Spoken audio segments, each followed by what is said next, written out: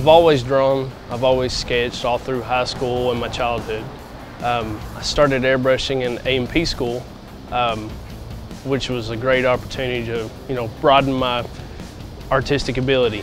And then that kind of rolled over into the opportunity to do a mural like the one here in Pikeville. So my uh, first mural was a, a small Blackhawk in the break room of, you know, my job as an aircraft mechanic. So I, it was probably like eight by 10 foot, which was not huge, but that kind of gave me a good platform for, you know, opening to a larger mural. So I have done three large murals, two here in Pikeville, one currently in Somerset on the Chamber of Commerce.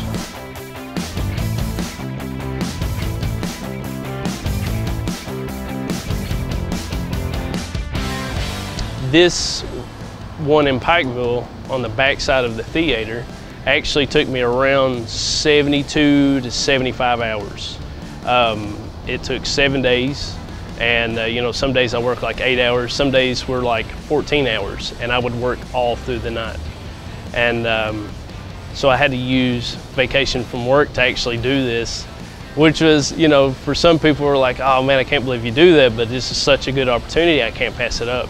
And you know, my wife and kids are very supportive and they were, you know, more power to me, you know. So I'm just happy to be able to do this.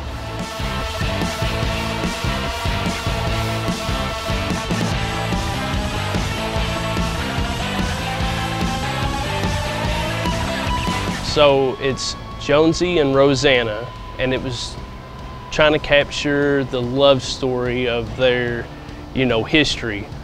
As you know, they had a bad relationship and uh, falling out with the family. So he is embracing her with uh, a bundle of flowers behind her, and the flower petals actually turn into broken hearts. And um, if you stand, see, to the left of the mural and look at it at an angle, the mountains in the background here in Pike County actually line up with the mountains in the mural, which is insane because I didn't even know, like until later when I was taking pictures of it, like I gotta capture this, you know, I gotta get a good photo. And it ended up just working out perfect. The only training I've had from day one is my mom bringing a pencil and pad to every event and everything we ever done. And that's the only thing I wanted to do was draw. So honestly, like these murals and everything I've done is fake it till you make it. I mean, it's just winging it. And so as far, it's been successful.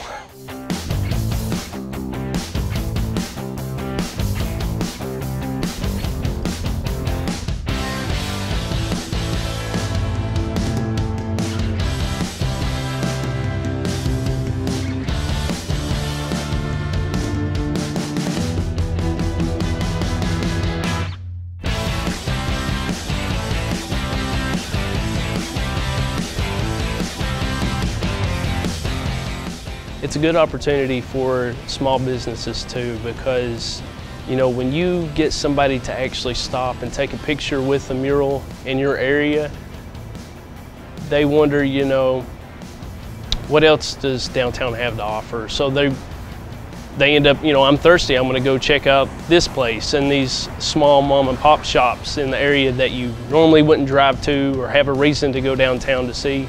It causes them it causes traffic a lot of people say like starving artists, those people are 100% into their art, which is great. But a lot of people like myself, I now have a family, I can't do that.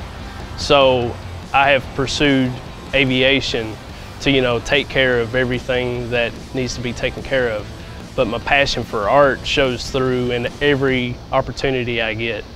So, you know, I wouldn't call myself like an artist 100%. I'm, I'm a, a family man but, you know, anybody can do this. It just takes, you know, passion. And uh, even if you don't have the ability, if you keep doing it, you will have the ability.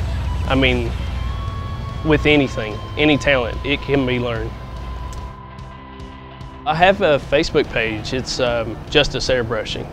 And um, I mean, I can do pretty much anything as long as like uh, my time is, you know, I'm time restraint with working and everything. But I also have an Instagram page and it's Jordan Justice Art.